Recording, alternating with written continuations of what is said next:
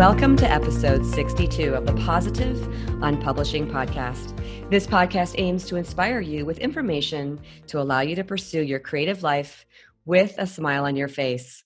I'm your host, Dr. Kathryn Guylay. Learn more about my work at makeeverythingfun.com. My guest today is Dr. Mario Martinez.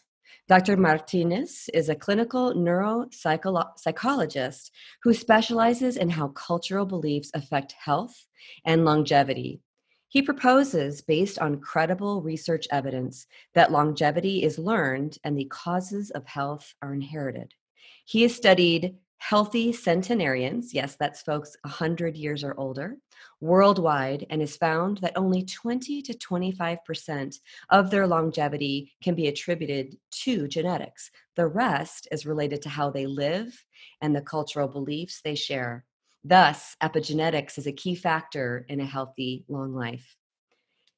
Dr. Martinez is the author of The Mind Body Code, how to change the beliefs that limit your health, longevity, and success. In this book, among other things, he explains why our immune system is not just a protector. Instead, it responds to ways in which we have been conditioned to perceive the world. Welcome to the show, Dr. Martinez. Thank you. Thank you for having me. And I have to tell listeners and, and watchers to this video that Dr. Martinez and I met at a recent conference where I attended your beautiful discussion about uh, the immune system and about factors that come into play in the mind body system and how it's all related. And so I want to make sure that we go through that beautiful structure where we talk about emotional injuries and how they show up in the body and then the antidotes to that. So I'm putting a little uh, sort of sticky note on that part of our conversation. But I wanted to start with this uh, sort of the the genesis story, maybe the aha moment in your work. You've done so much research and you continue to do so, but what was the point at which you said, "Oh, I, I have to get this into a book to share with the world"? Like most science, uh, it came out of uh, frustration and, and helplessness about uh, what was available. And in doing many, many years of uh, clinical neuropsychology and psychotherapy, I found that that it's not just enough to be able to explain something to somebody and for them to make some changes.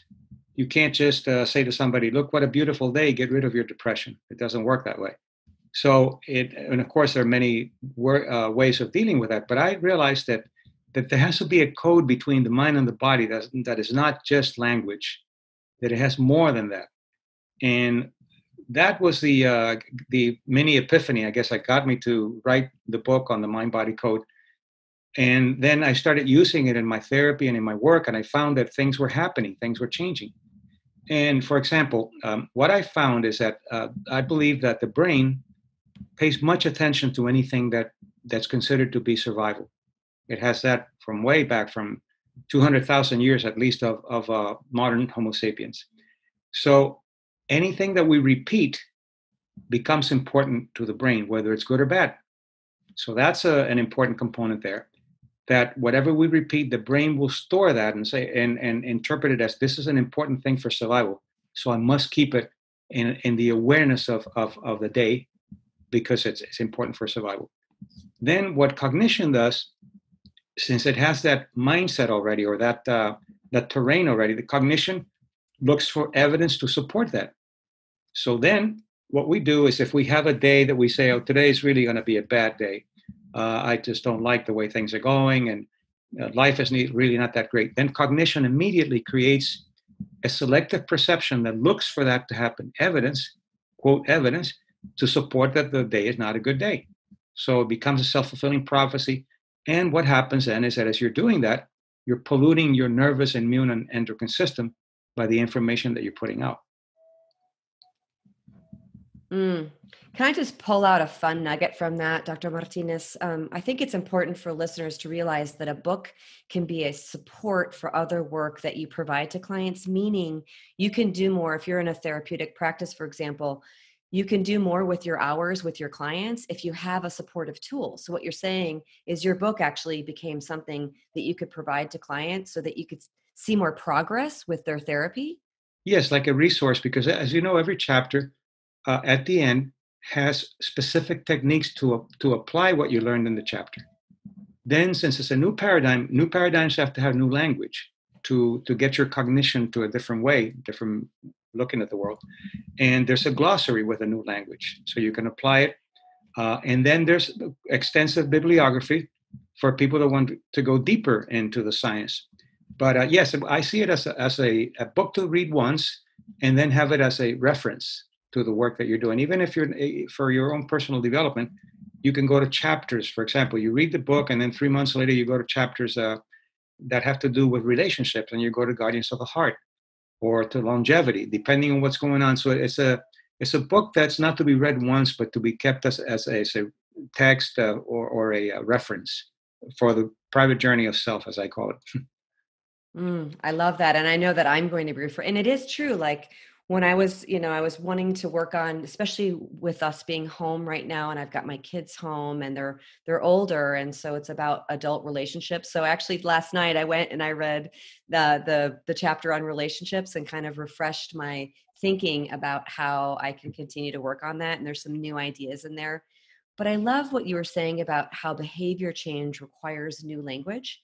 I also love how there's a glossary at the end and I wanted to also to talk about so there's a languaging aspect to it, but you also mentioned earlier this body-based or somatic um, aspect to it. So explain to people that maybe aren't as familiar with this idea of um, the emotions living in the body and how through your research and your clinical experience have been able to kind of map it if you uh, if you look at a, what's called a functional mri which is a, a brain scan that has um, that's showing what the brain is doing in real time at the moment, you can see that if you if you create a new thought, there's some neural maps and some some neurons that get together to create a neural map, but they don't last very long because it's just a, a thought that's coming from the left side of the brain, and it doesn't have the evidence based or it doesn't have the embodiment that uh, that it w- that it would have if you did, for example, if you say I'm a good person,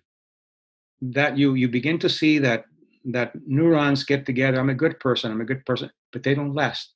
They uh, they kind of disappear after a while, because that is just a word that you're saying without embodying it, meaning it, how you're landing the emotion and how you're landing the experience in your body. So, for example, affirmations by themselves, I think, don't work very well. You you would take hundred thousand affirmations for something to sink in. I think a faster way to do it, if you want to do an affirmation, if you want to change something, you could say, I'm a good person. And then check your body to see what kind of body response you have to that particular premise. And if you don't feel like you're a good person, your body will respond in a, it'll give you a little bit of tension or your shoulders will, will tense up. And what you do is you go there, you observe it, and you allow it to pass, and then you go, I'm a good person again. And you keep practicing that. But also, what makes it happen is so you go to your archives, you go to your own memories, and you ask, when was the last time I was a good person? That's evidence. And that has emotional psychoneurological components to it. It's not just an empty word. So you go back and you say okay t- yesterday i was really a good person. I was very good with my friend. Then you embody say how does that feel what i did? Embodiment of how, do, how does it land in the body? Then you begin to see neural maps actually getting stronger and going deeper. And to strengthen it even more then for the rest of the week you do evidence-based things that support that you are a good person. That changes what we call in neuroscience the, uh, the default mode, which is the way we look at the world. It's uh, the goggles that we use to look at the world.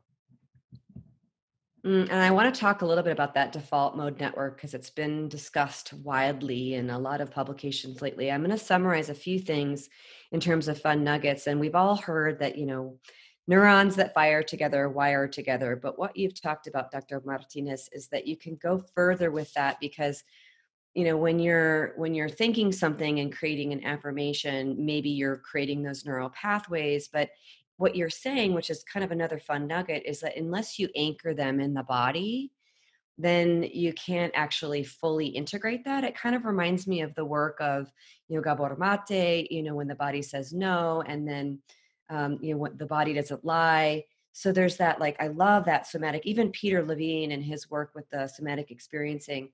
And then you went further to talk about how there's that affirmations again can't work unless they're anchored in the body but the the body mind system needs that evidence to continue to support the affirmations because why? And then we'll get into default mode. Because is that because what the, is that the answer? Is because the default mode network is such a strong network that it'll just take over if you're not constantly anchoring and it'll just go back to ruminations and what happened before and what might happen in the future? Is that kind of why affirmations don't work? Yes and partly because of uh, it's not an integrated process. So for example we learn things with the psychoneuroimmunology. We learn a symbol, and that symbol has a nervous reaction, an endocrine reaction, and it has a, a, a um, immune reaction. So it's a cluster. So if we want to change that, just by using the language, it's getting a piece of the uh, of the cluster and not getting to the total cluster. So you're not changing the cluster; you're just getting into it and not really making a, a significant change because you're not getting to all of the ingredients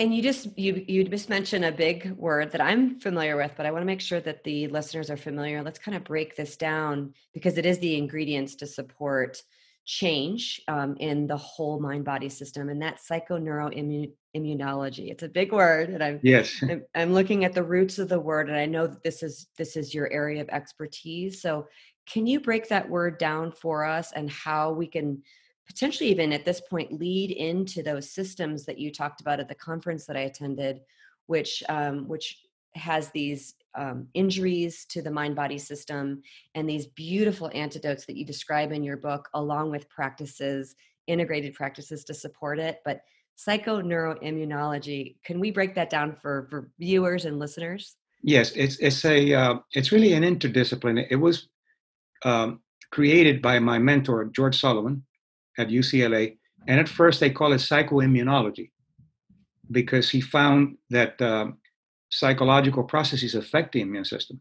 Then later, Bob Ader came up with uh, the nervous system and saw psychoneuroimmunology. And then um, uh, a, an endocrinologist also found, and they call it psychoneuroimmunoendocrinology. And what I'm doing now is I'm adding one component, not such a long word.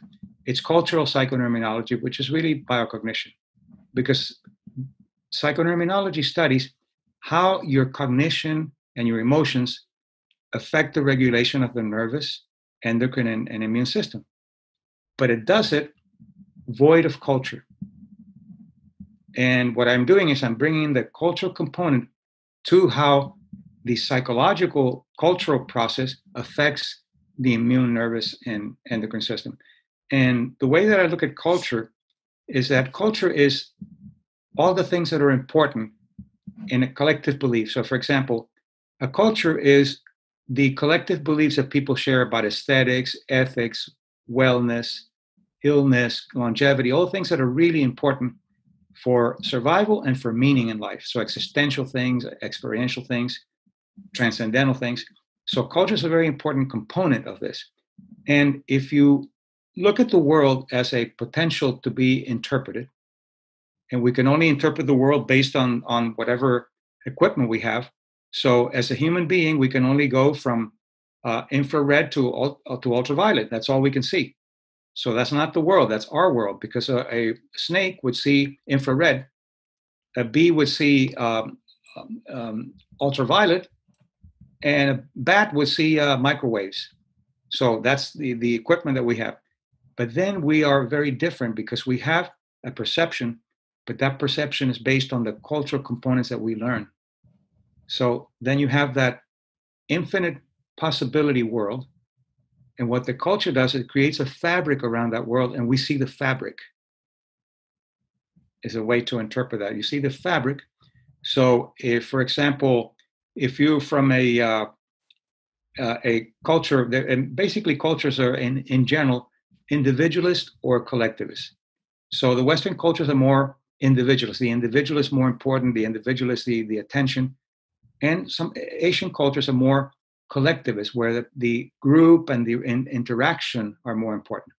And you can see how the brain is very cultural by you can have people look at uh, a picture of, uh, let's say, a man sitting on a bench at, at a park, and you ask him to look at it for a few minutes, and then you tell him, okay, I want you to remember and tell me all the things that you remember about that picture. And it's not universal. The individualist culture will see the man has a green shirt and he's wearing dark shoes. He's got brown hair, and he's got a um, uh, a pipe. The uh, uh, more of the, uh, for example, Koreans and, and Japanese and Asians will say, "There's a man sitting there. There's a tree, and there's a squirrel there with the tree, and the man is looking at the squirrel. It's an interactionist kind of thing. So the brain learns to look at things based on on your on your beliefs. And another one, the uh, the prefrontal lobe, the the medial prefrontal lobe, has to do with with selfing, with uh, with, with, the concept of self, that and the insula and other parts of the brain, but really the prefrontal lobe. So if you ask somebody when they were on a uh, functional MRI, when you can see how the the brain is working based on the blood flow, and you ask them, talk about yourself, and that part activates. Keep talking about yourself, it activates. And they say, this is for an individualist culture. Um, now, talk about your mother or your friend. It goes to another part of the brain because not selfing anymore. But and and you would think when I learned neuropsychology that well that's it it's a universal that's that's how it is for everybody. But then you go to an Asian culture and you ask them talk about yourself, and that activates that part like everybody else activates. But if you say talk about your mother or your friend, it stays there in the selfing. So the self is a collective kind of mm-hmm. process. So the brain is culture, and then the immune system responds to the culture. So the immune system is cultural too. And that really is your, it's part of your life legacy is adding that cultural aspect. Yes. yes. It's so like culture- the missing link of psychoneuroimmunology. Mm, that's beautiful, and I and I want to dive into that. Um, you know, so that just to summarize it, you know, culture influences the way that we view and then perceive the world, and there's sort of two broad groups: that individual way or the collective way, and that actually impacts you know where things show up in the brain, and then it can feed down into the immune system. And so maybe we could talk about that that structure of these um, emotional mind body um, we'll, we'll call them injuries uh, which are the you know the shame the abandonment and then dr martinez the third one is is is even more serious remind me what that betrayal. one is betrayal yes. yeah so and and and and let first let's uh, describe for listeners and viewers what those injuries look like and then what was so amazing and i was i think everyone in the audience was just spellbound on the seat of their chair about how that shows up in the body and people i could see people nodding their heads and and and identifying and i want listeners to realize that you know it doesn't matter if you think you had a great childhood we all have injuries. It's just part of being a human being and we can look at them as things that we are on classroom planet earth to to work on and that helps us to evolve. And so um, because we're talking about you know shame and abandonment and betrayal you know they sound like heavy labels but all of us are working with these things because it's a way that we can grow. So be open listeners and viewers to thinking about where this might apply in your life and i can tell you when i was in this large group of people people were nodding their their uh, heads and then in the breakout sessions people were like whoa that was definitely me and it was really good mm. to see how that was coming up in my body you know that shame and the heat and inflammation and and then you know kind of talking about the antidotes but first i'm going to let you go through those three because they're so powerful and listeners can just gently ask themselves to to see if one might relate to them okay yes i think they're very important and what i found the reason that i and i call them archetypal wounds or or dampers of becomingness, dampers of becomingness. And what I found that every culture that I studied had those three, and then you could pretty much subsume everything under those three. I haven't found a fourth. Some sometimes people will say, "Well, what about fear?" Well, fear is a response to some kind of stimulus that could scare you, or fear of being wounded with one of those three wounds. So it's it can be under under those three. And then by looking at that, I thought, well, these these are really important. And first, I studied them, and then I found ways to in, to create the the antidotes that you talked about. So, for example, abandonment is the most um, primitive of all, and the reason this happens is because all, even individualist cultures, the tribes want you to work for the for the good of the tribe. And when you when you want to individuate or when you want to become yourself, you have to get out of that. You have to do beyond the pale kind of things. And now beyond the pale has a negative connotation and, and it really it, it shouldn't because it's getting out of the culture so you can learn about yourself. And in order to keep you within that space either parents teaching you something or keeping you with what they believe is right or or teachers then they use one of those wounds or they use one of those dampers to keep you within within place. The most primitive is abandonment if you're a child and you're abandoned you die that's that's very primitive and very important and these things happen not just once because we're very resilient but for example it, it's a, a, pattern of abandonment emotional abandonment or um, intellectual abandonment, physical abandonment. And one example, the, the child is in kindergarten, all the mommies and everybody picking up the, the, the other boys and girls, and you see that your mommy's not there to pick you up. And then you begin to feel that sense. And it happens once, not a problem. But if there's a pattern of that abandonment, then you create that damper, you create that uh, stopping you from, from becoming self and that usually feels cold. They, they each have a temperature and a psychoneuroimmunology to them. So the abandonment feels cold, and the reason it feels cold is an isolation, but you have constriction of, of your, of your vascular system, which actually constricts and it, and it feels cold outside. And the feeling is a very strong isolation, a coldness, uh, and, and, uh, and a sense of disconnection from your social systems and that usually creates a, uh, a psychoneurological reaction of stress, a lot of adrenaline and, and noradrenaline, and then cortisol later, which actually do the constriction, and that causes immune system to to um, suppress. The second one is shame, and this is used very uh, abundantly around the world. And shame is hot.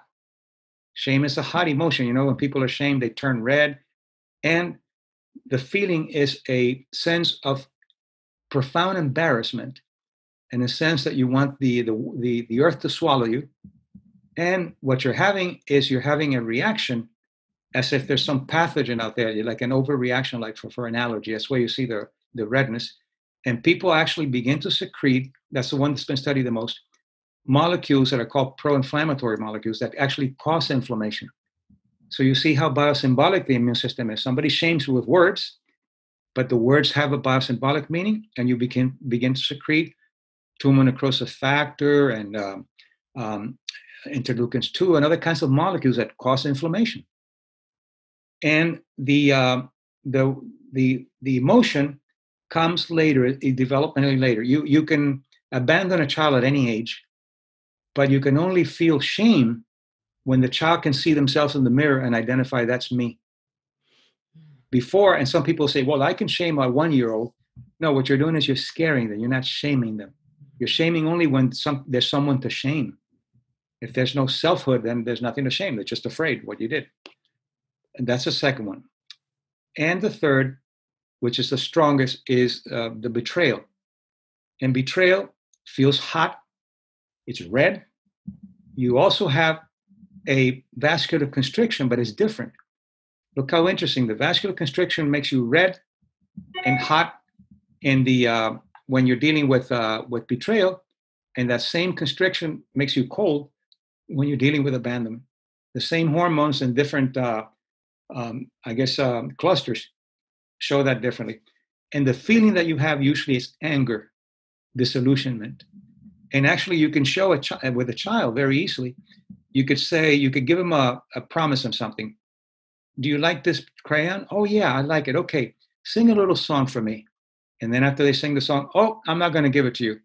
They're not shamed or abandoned. They get angry because they've been tricked they've been lied to.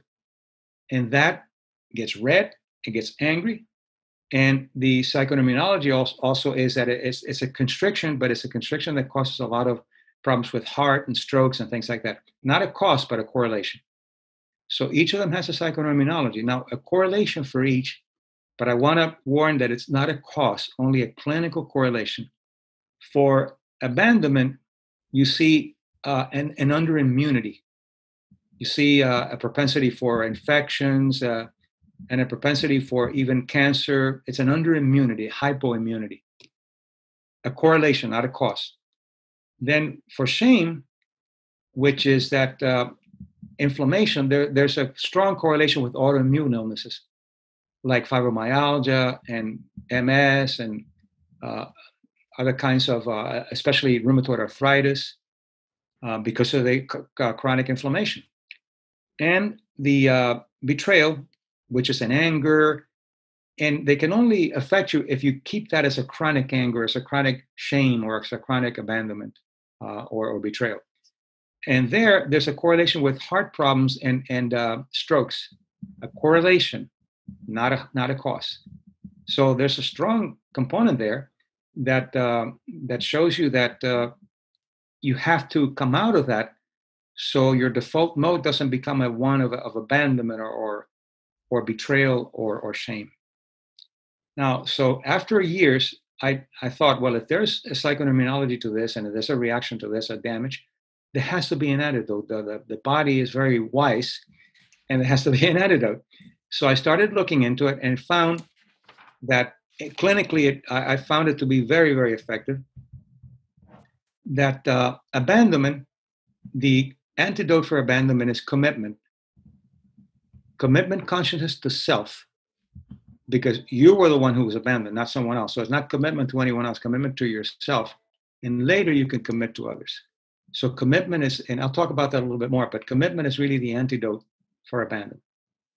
Uh, in fact, when you do it, uh, when uh, someone in, in therapy and they they're in the abandonment consciousness, and you and the technique that I use, and then you bring out the consciousness of the uh, of commitment, the body begins to warm up.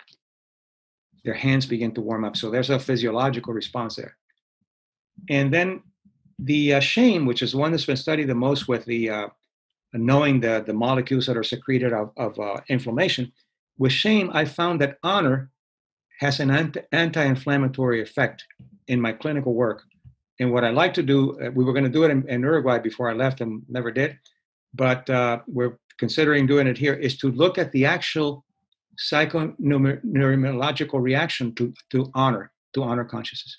I find it, I see that it works extremely well with fibromyalgia, with rheumatoid arthritis, and with other kinds of illnesses that have to do with um, inflammation. And, and I've worked with hundreds of fibromyalgia uh, myalgia problems, never found one who didn't have a strong shame wound. They all had some kind of inflammatory uh, wound or, or damping. Um, and the third, the uh, betrayal. Betrayal is loyalty to yourself, is the antidote for it. And the good thing is that they don't have to be related to the to the condition. It doesn't have to be related to the abandonment, uh, the commitment that you make. Any commitment that you make creates commitment consciousness and works on the wound or works on the on the on the particular um, problem that that that caused the uh, the, the wound or, or what I call the damping of uh, dampers of uh, becomingness. So that's fascinating because uh, if you have something that doesn't work, you have to find something that works. Uh, and if you have something that that's wounded, there has to be an antidote. So those three are really, really powerful. And in the book, I talk about it and I explain how to identify them. And again, you can't do it intellectually because when you're in beta uh, waves like we are now, the brain is protecting you from creating too much anxiety. So what we do is we use a technique of contemplativeness and go in there and then go to a theater that we create and go to the wound, bring it out, embody it, and then go to the uh, antidote, embody it, and it begins to clean it up. But then you have to begin to live the antidote. So if you're working on the uh, abandonment, then you begin to live in a consciousness of commitment to self and to others, but always to self. And you will find a lot of people will tell you when you're working with them that, oh, yeah, I have a commitment problem. I really have a problem with commitment. I just can't commit uh, because there's an abandonment. Uh, and I have a problem with honoring myself because there's shaming. It kills what would normally be a, develop, a developmental healthy process of developing commitments and and honor and um, a sense of loyalty it kills it because it doesn't allow self to be valuable enough to develop those particular emotions I want to tell you how much I admire your work, Dr. Martinez. And I, I wonder if our health system, if we could all understand, I'm a big fan of, you know, collaborative or allied health practitioners, meaning we're all talking to each other. And instead of, you know, I go and see my physician for 15 minutes and then I go and see my therapist for an hour. And then I, you know, it's all just sort of, um, you know, in boxes, like this idea. Going shopping. You get yeah. the vegetables and the meat. Yeah, but if we could all uh, start to have conversations as healthcare practitioners and or, or just to have say physicians and other therapists and other healthcare providers, coaches, etc., understand what you're talking about because if that way it's like really getting to the root of an issue. So if somebody comes in with you know hypoimmunity you know they get sick all the time you feel their hands and they're cold and you know there's vascular constriction it's like understanding this um, emotional component can really help to to provide a more holistic and supportive uh, treatment for the patient. And um, i wanted because there, but there was something so interesting that I, I, I cannot pass up which was that we cannot heal in the beta wave um, state which is you know our thinking and, and focus state but only in these certain contemplative states. So are you saying that we um are you suggesting that more of a like alpha theta state is where the healing exists? I just i couldn't pass that, yes, that up without theta, asking. Yeah and i think developmentally uh children up to close to pre-adolescence are mostly in theta waves so they can so they can uh, assimilate the information that you give them. Sometimes you tell them look you can fly. A three year old you can fly jump and they'll jump because they have no no way of confirming or that, that, that and that's important because in those years you have to assimilate as much as possible. When you get to pre-adolescent, adolescent, you go to beta and they question everything uh, because then they have now a, a, an opportunity to challenge what you're doing. So what we do is we go to the alpha uh, theta, as you said, and then in that level, then the assimilation is better, but the preconceptions are kind of uh, allowed to disappear for a moment so you can bring in the new um, information that that you're creating in order to then come out to beta and, and apply it to beta. That's so helpful, Dr. Martinez, because I think sometimes people, I mean, and I believe this too, I, I don't think that you can think your way, you know, through a deep wound. Like you can't think your way out of that problem. But then again, if you're working with somebody and they're they're feeling anxious or they're feeling depressed or they're dealing with an autoimmune condition or all these different things that we talked about and you say to them you know we need to get you to slow down. We need to get you to breathe. We need to get you to, to be mindful to be in a meditative state. They'll go you know I, am too stressed. I'm you know i'm dealing with fibromyalgia. I'm dealing you know and then they're all like in that thinking thing but what you're saying this is the science behind why we need to take that time to slow down because we cannot heal in that hyper focused state. In fact, it makes it worse, as you know, because it causes immune um, suppression. But the other component here, the important component, is that knowing that these archetypal wounds or, or dampers exist and that they're antidotes, that is a very important ingredient to deal with embodied forgiveness. Because you, as you said, you, you can't you can't intellectually forgive someone. I forgive you because I'm a good person. I forgive you because somebody because nobody's perfect. Those are intellectual expressions of something that goes deeper than that. So the technique that I use, as you know in the book, is that uh, you first, before you can forgive someone, you have to know what kind of wound they created for you. So if you have a bacteria inf- infection, you have to find out what uh, antibody you need or anti uh, um, uh, uh, biotics that you need in order to deal with that particular bacteria. Same thing here. If you're you you say, I want to forgive him for what? Oh, he did some bad things. And what did that do to you? Well, it just hurt me. That's it. But if you go, this person shamed me incessantly, or this person abandoned me, then you have something to work with. And forgiveness has nothing to do with forgiving the person. It has to do as an act of self-love to release yourself from the enslavement that they created for you. And then at that time, you decide, do I want forgiveness with reconciliation or no reconciliation? You don't want reconciliation with a rapist. You might want reconciliation with your mother, but then you set limits different than the way that you were wounded from by your mother. And there was an experiment that, that sometimes when you try to bring uh, social experiments into biology, it doesn't, it doesn't work really well. And what they try to do is they uh, they brought women who had been raped, and they brought them to the prison so they confront their their their rapist and it, it was kind of set up so they the thinking was that if you express all your anger and then the rapist uh, will uh, then uh, uh, ask for forgiveness and all that kind of thing it'll be wonderful but see that was an intellectual cathar- and catharsis alone doesn't work either so the women would go up to the man and they would say uh, you raped me and you ruined my life and a sociopath which knows how to answer. They say, "Oh, you're right. I'm so sorry." You know, "Oh, how wonderful!" They would cry, uh, and then six weeks later, they would have panic attacks, and they have all kinds of post-traumatic stress disorder because it brought something up an unfinished business. And the re- the reason they stopped it was that one day this woman again does the technique, and she says, "I'm you abuse me and you rape me, and what do you have to say for yourself?" And this guy was a at least an honest uh, sociopath, if that's possible and he said, "Well, the only thing that I that I'm missing is that as soon as I get out of here, I want to rape someone else, and I want to rape you again." And then the woman's anger came out. So so much for forgiveness. It, they stopped there because they realized that it just wasn't going anywhere. So you can't do those things. Forgiveness is a process that has nothing to do with a person, but with with what they did to you. So, for example, if you shoot somebody, it doesn't matter who you are or why you did it. You have to go to the emergency room and, and get that bullet out. That's what forgiveness is all about. And there's a technique, again, on the alpha theta, that you work through it and you see that it has nothing to do with the predator.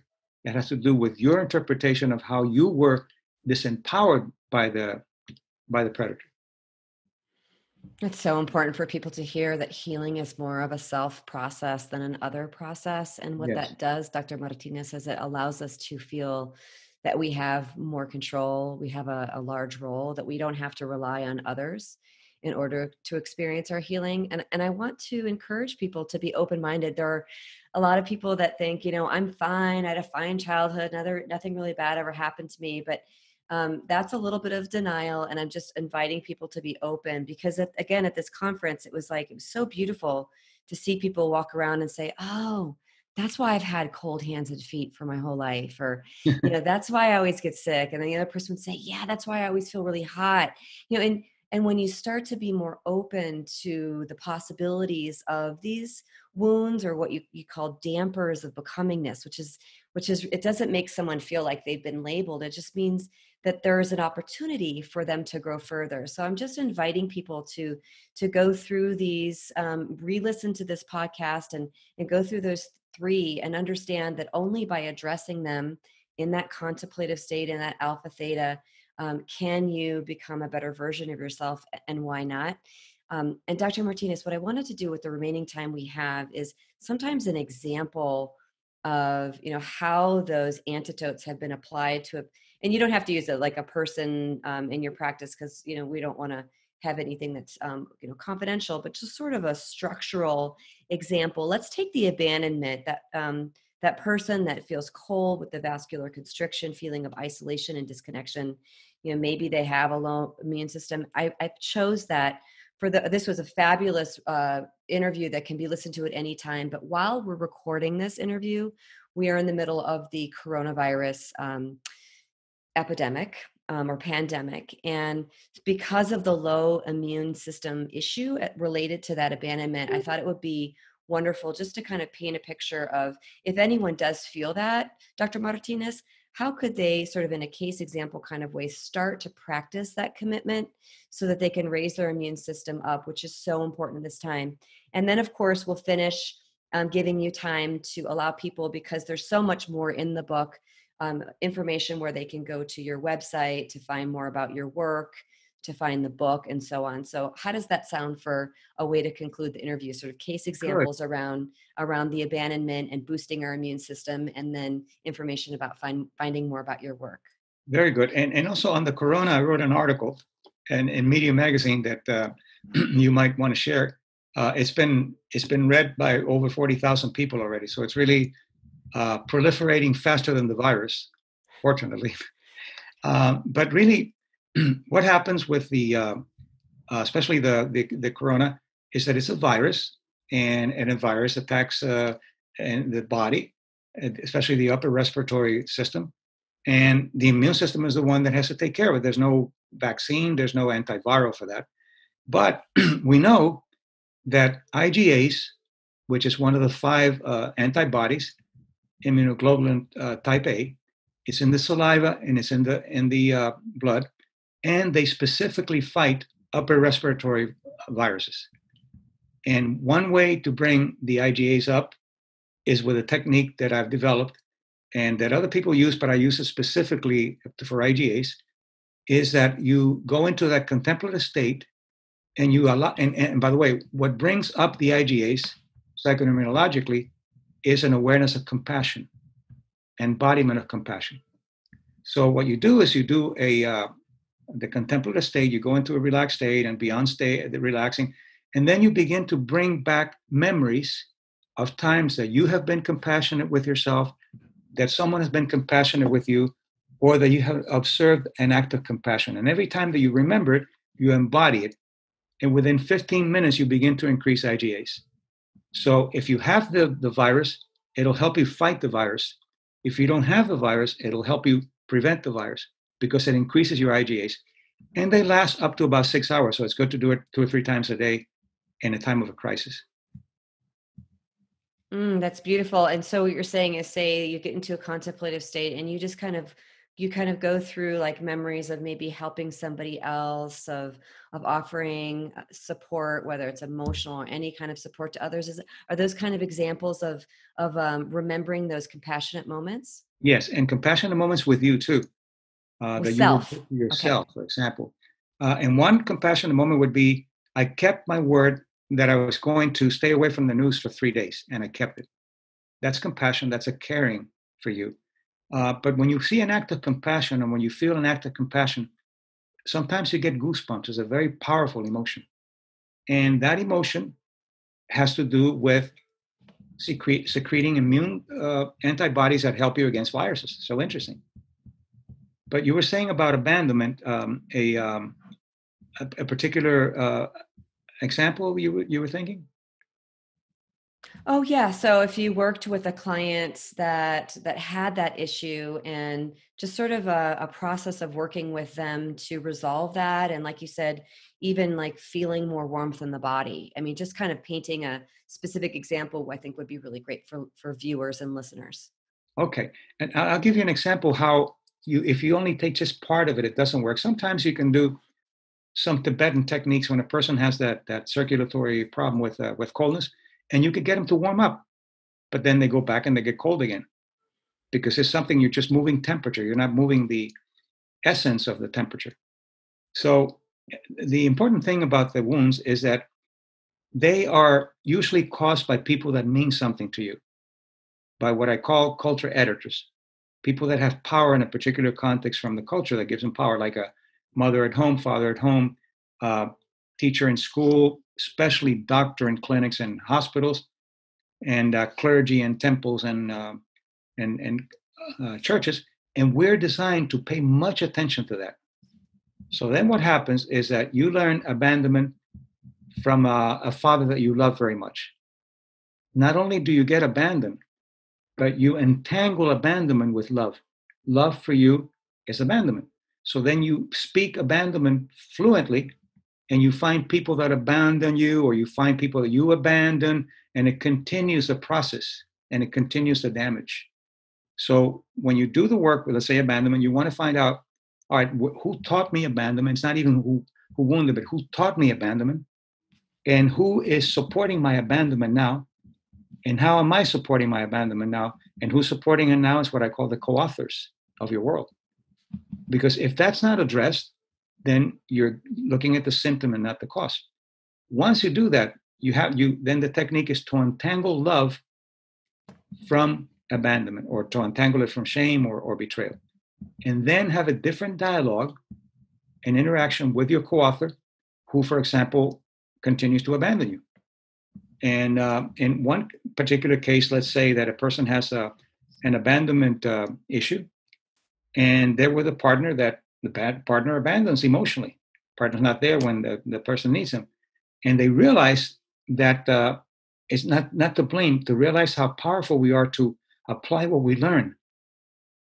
That's bad, but how powerful we are to apply what we learn, that's good. So it's both. Uh, then you do the technique and you clean up the abandonment and you begin to create commitment consciousness. And one of the commitment consciousness would include committing to not letting someone abandon me like that. And, and anytime that you work through a wound or one of the dampers, you have to create new boundaries. You have to create new boundaries because co-authors are not going to be ready for you to change just because you want to change. So um, if, for example, you have worked on the abandonment and your partner abandons you emotionally, uh, you need that person emotionally and they're too busy for you. Well, then that needs to be addressed. That needs to be addressed. Not when you're arguing, because when you're arguing, it's like talking to a to a drunk about not drinking. You're talking to the bottle. so when you're arguing, you're talking to the anger. When you're not ang- when you're not angry, you talk about it. Look, I have this situation in my life, and I'm trying to work this out. And this is what I'm going to do when you don't respond to me. And usually, if the other person is open, open, then you can say, "How about you? Do you have any kinds of issues related to that?" And you will find that they do. One abandons because they're afraid of being shamed, or they're abandoned because they're afraid of being betrayed. So and then they, and that's what Guardians of the Heart is all about for partners to work on what they're dumping into the relationship and working on the antidote. So let's say this person has the abandonment, the partner is abandoning because they have a shame issue. So then when you work it through, you have a relationships that based on commitment and honor consciousness. And then you begin to heal both.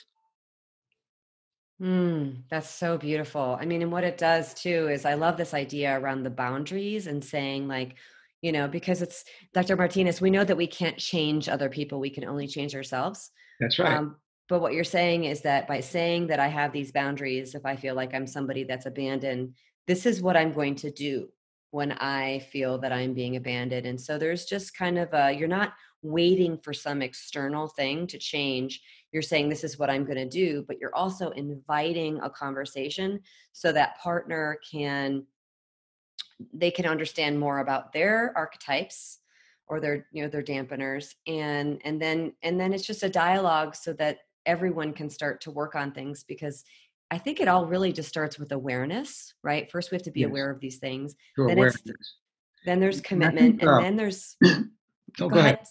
I was just say then there's these techniques that you have in the book. So it's kind of a, a multi-step thing, but having things along the way where the where the the control point can be within so that you don't have to rely on others. You can change your own language you can do self commitment you can you know come you can go to this alpha theta state on your own and and and have compassion to self. These are all things you can do but to take it to the next level it's about doing it as a as a um a, a bigger unit or as a partnership to to go deeper on both sides. Yes and and, and you have to once you work it through then you have to go excuse me to the boundary setting and it has two parts setting the boundary and giving people permission to not like it mm-hmm. so i'll give you an example this person was shamed and uh, she had an uncle who was very shaming and she wouldn't call him because every time she called the first time, oh, so you haven't had time for me, oh, and it's shaming. so, so once she learned the dialogue, this is how it went. Again, setting limits, changing the language, and having fun. By the way, having fun with it.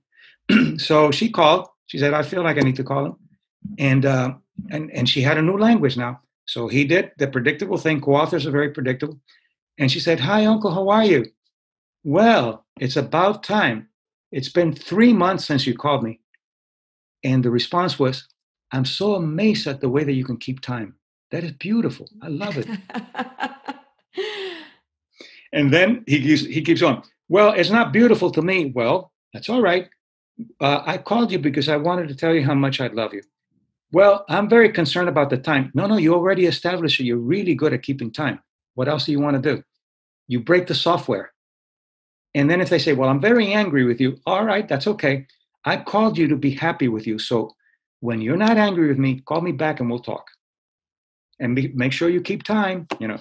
oh my gosh, thank you so much for bringing the fun factor into it because that's I, I had not thought about how setting boundaries and creating a new dialogue, especially in these very sensitive areas, could actually be fun. But what you just described is absolutely a fun thing. It's like okay when you know when something's coming at you and you're ready right with a proactive stance then you can have a little bit of you know fun with your with your you know your response yes, yes. there, there was uh if we have time i can tell you something very quickly Absolutely. Uh, in nashville i worked with a lot of uh, uh some country music stars that appear to make it overnight and they don't they work very hard but this person made it very big and he came from a very humble uh, town.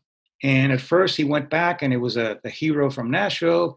But after a while, they start cutting your clay feet and they start bringing you down. So every time he would go back, oh, so you don't have any time for us. You have to be in, in, in the city of the devil in Nashville. And, well, what does he do then to go back to the tribe? Because you're not careful, you go back to the tribe wounded. That's the only way they can take you back. So he started drinking excessively. And he said something really terrible about the CEO of the, of the uh, company that the publisher that contracted with him.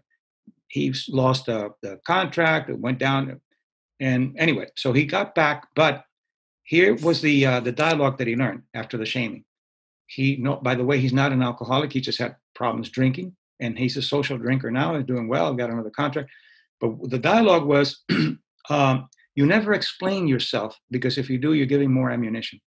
So the father, who was a pastor and a and a God fearing man, you have to be careful with the God fearing people because they put fear into you, and it's not God, it's it's you.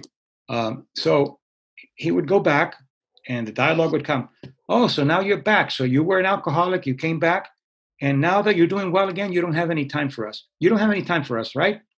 And he said yeah i don't. But now that i made time for you what do you want to do with it? Ah okay so he was ready with that dialogue. Yes. so again proactive and it's a little playful. Yeah that's right. You make them own what they're doing to you. He say, well no i don't know. I don't know if i need anything from you because you, you don't have any time for us. You're right, I don't, but I have time for you now. So what would you like now? You know what. I would mm. like? I'd really have a good like to have a good time with you. What about you? And he said that there was a blank, and then, and then his father smiled and hugged him. mm. Oh, that's so powerful and it's so timely because I think a lot of us right now are are feeling like, you know, if we've got kids that have left the nest and then they're back right and so it's like we're all trying to figure out how to communicate in a loving way so i think everything we've talked about today is not only wonderful for the the long term in terms of helping listeners throughout their lives but for this short term with what we're experiencing with the coronavirus i think the the awareness around the immune system and the and i'm going to link to your article so i'm going to give you an opportunity just to list places where people can find you and follow your work and of course get your book because there's all these practices in the book to address the archetypes that we've talked about but um, yeah i'll also link to that article so i'm going to let you go ahead and give your websites yes the website it's uh, very simple biocognitive one word biocognitive.com and in, on facebook where the article i have a link for the article but i have a lot of free information on, on my facebook page is dr mario martinez and the um, excuse me the address is uh, uh, facebook.com, then uh, forward slash mind body culture. And you can get their videos, and there's all kinds of information there that I suggest you go completely free. And the book is available everywhere, but Amazon is probably the best. Uh, and um, then uh, that's it. That's what that's what's going on. Fantastic. All right. Well, I will put all of those links in the show notes. And um, I want to thank you. You are such an inspiration. I have absolutely loved this conversation. And I know that it's going to help a lot of people. So thank you again for your wonderful work in this world. Thank you. My pleasure. And uh, congratulations on the work you did. Thank you. Gracias. Por nada. Have a nice day. bye bye.